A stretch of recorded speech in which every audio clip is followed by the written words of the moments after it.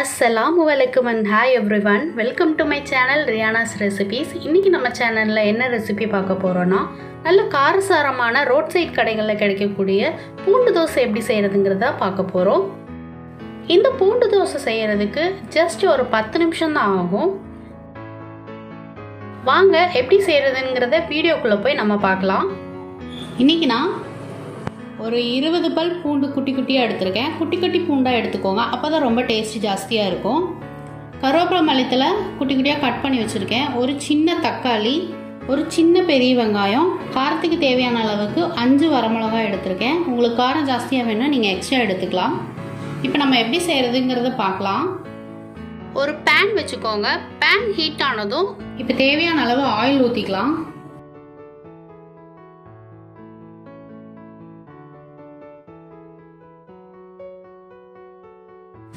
இப்போ அதை லைட்டாக வதக்கிக்கலாம்.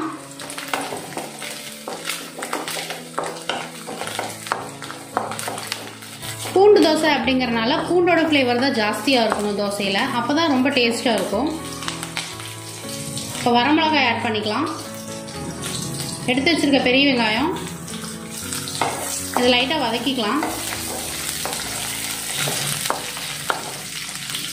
இது லைட்டாக வதங்கினதும் தக்காளி ஆட் பண்ணிக்கலாம்.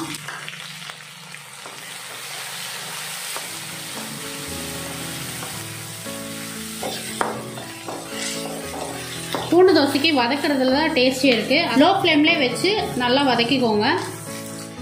தேவையான அளவு உப்பு ஆட் பண்ணிக்கலாம்.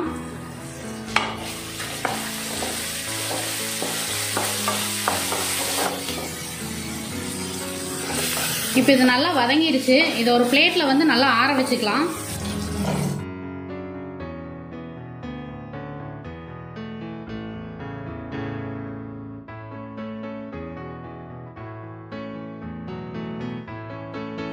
இது நல்லா ஆறிடுச்சு இப்போ ஒரு மிக்ஸி ஜாரில் போட்டு இதை அரைச்சி எடுத்துக்கலாம்.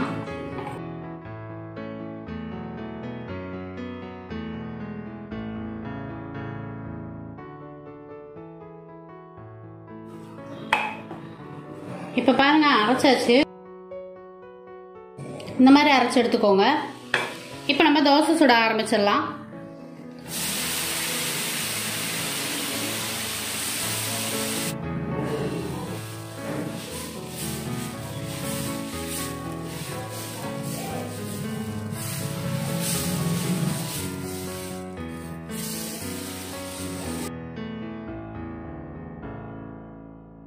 இது லைட்டாக வெந்ததும் இந்த மாதிரி இப்படி தேய்ச்சி விட்டுக்கோங்க.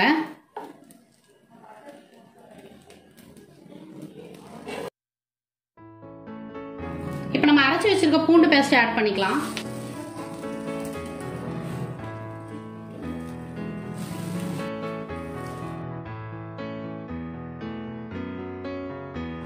இப்போ சுற்றி ஆயில் ஊற்றிக்கலாம்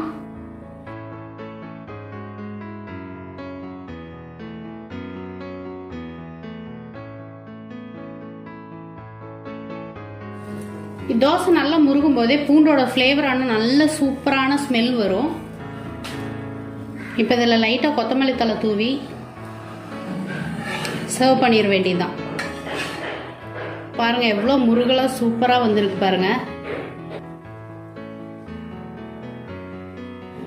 சூப்பரான பூண்டு தோசை ரெடி ஆயிடுச்சு இது செய்கிறதுக்கு வெறுமே ஒரு பத்து நிமிஷம் அஞ்சு நிமிஷம் தான் ஆகும். வீட்டில் மாவு இருந்தாலே போதும்.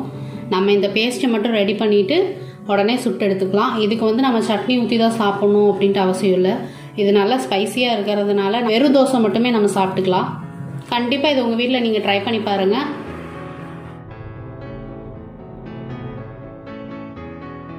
மீண்டும் இதே மாதிரி ஒரு சூப்பரான ரெசிபியில் உங்களை மீட் பண்ணுறேன் தேங்க்ஸ் ஃபார் வாட்சிங்